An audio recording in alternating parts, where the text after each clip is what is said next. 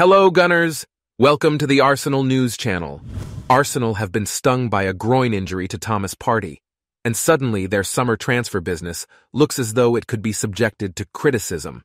The Ghanaian FA announced on Saturday that their midfielder had suffered an injury in training at London Colney and would therefore miss the upcoming international break.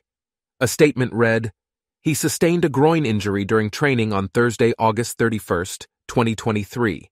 He is currently unavailable as club doctors predict he's likely to be out for a couple of weeks. Interestingly, Partey has been filling in as a makeshift right back in Arsenal's opening three matches of the season, but that is now set to change against Manchester United on Sunday. That might be celebrated by Arsenal supporters who have been crying out for the return of Gabriel Magalhaes at centre back alongside William Saliba, meaning Ben White can shift back to right back. Nonetheless, the news that Partey has picked up a problem will have raised alarm bells, particularly as Kai Havertz continues to struggle with his period of adaptation in North London. But now, unless Mikel Arteta is prepared to call upon Jorginho regularly, Havertz might have to step up now in his role as an advanced numbered eight. Declan Rice has been playing as a single pivot with Havertz and Martin Odegaard slightly ahead behind the front three.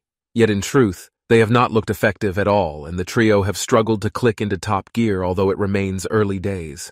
However, with Partey now out of action, Arsenal are starting to look very light on the ground in the middle of the park.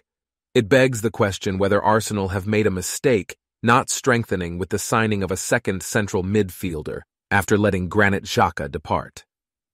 The Gunners were fortunate last season that both Xhaka and Partey were available for the crux of the campaign, but this time around, they might not be so lucky.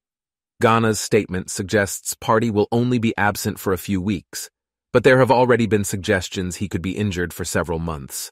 Arsenal's move to sign David Raya was certainly bold, and now fans may suggest the club would have been better off investing that cash on another midfielder?